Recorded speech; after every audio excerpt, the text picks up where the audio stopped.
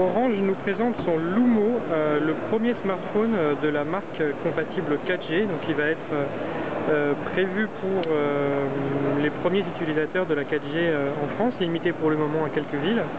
On n'a pas encore toutes les implémentations de logiciels Orange à l'intérieur, mais on peut déjà dessiner des gestures à l'écran. Là, on voit qu'on peut assigner euh, des gestures à l'application de notre choix. Il y aura des widgets qui vont être euh, ajoutés sur euh, les différents bureaux. On peut voir qu'il est quand même assez fin, qu'il a des touches hard pour contrôler le système Android. Un appareil photo d'assez bonne facture et il tient bien en main finalement. Et on voit ici au logo en haut à droite qu'il est prêt pour la 4G, il est même plus que prêt.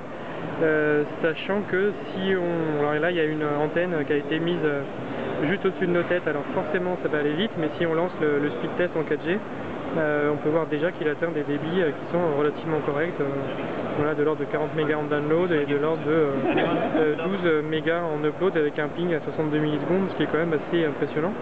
D'autant plus que si on va dans les résultats, on peut voir que des débits qui ont été beaucoup plus importants. Donc voilà le nouveau euh, téléphone phare qui a été assemblé par Gigabyte pour Orange euh, qui sera disponible euh, d'ici quelques semaines dans l'Hexagone en France. Donc Orange Lumo.